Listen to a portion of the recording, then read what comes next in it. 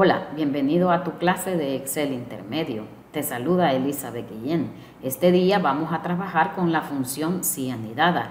Esta función nos permite analizar criterios en donde se cumplen más de dos condiciones. En este caso, vamos a descargar esta plantilla de trabajo en la cual dice que ayuda a la empresa a calcular los indicadores de gestión y de acuerdo a estos asignar calificaciones a los empleados de la compañía.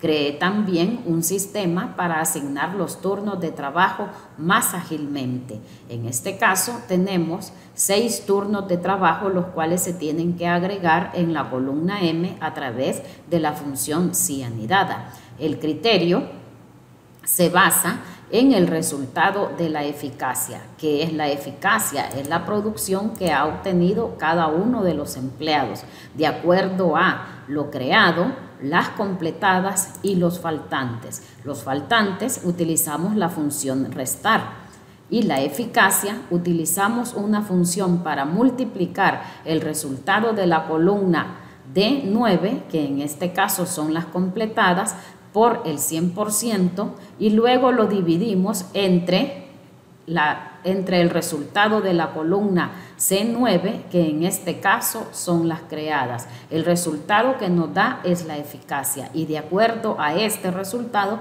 vamos a analizar el resultado de cada uno de los empleados que puede ser menor o igual al 60% deficiente entre 60 y 70% regular, de 70 a 85% muy bueno, arriba de 85% excelente. Esto lo vamos a hacer en la columna que nos pide la calificación y haciendo el ejercicio con la función cianidada que en sus últimas versiones de Excel me permite agregar hasta 64 veces una función.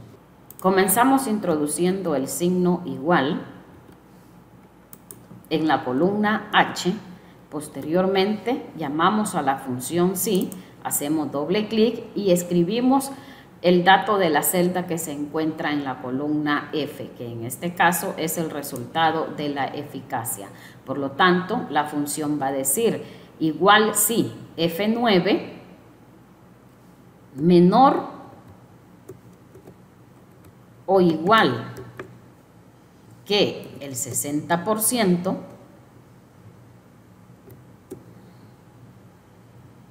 punto y coma, abrimos comillas y escribimos que esta condición hace referente a que esta persona ha obtenido deficiente.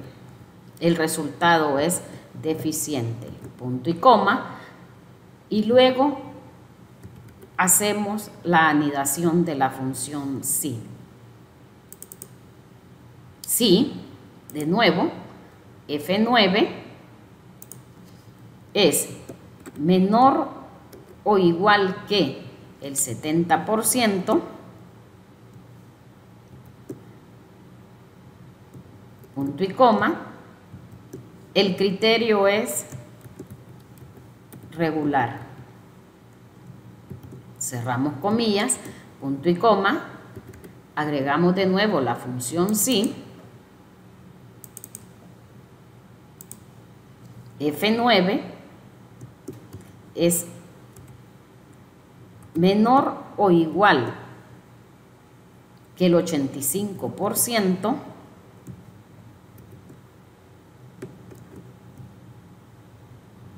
su condición es bueno, punto y coma, agregamos de nuevo la función sí y establecemos el último criterio, que si F9 es mayor, en este caso no vamos a utilizar el signo menor, sino que vamos a poner mayor o igual que el 85%,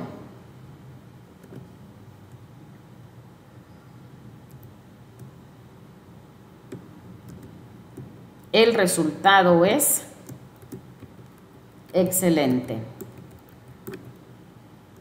Cerramos comillas y cerramos todos los paréntesis que hemos utilizado dentro de esta función si anidada. El resultado es que con el 62% el empleado Ricardo Antonio, su resultado es regular. Hacemos el respectivo arrastre para completar este ejercicio y a través de esta función podemos establecer los criterios de quienes tienen un resultado regular, deficiente, bueno o excelente. Y lo mismo tendremos que hacer en el caso de la condición. Para la condición lo que se utiliza es la carga laboral y para asignar los turnos de trabajo se hace de acuerdo a el número que se encuentra en la columna L. Muchas gracias por tu atención prestada. Nos vemos en la próxima clase de Excel Intermedio.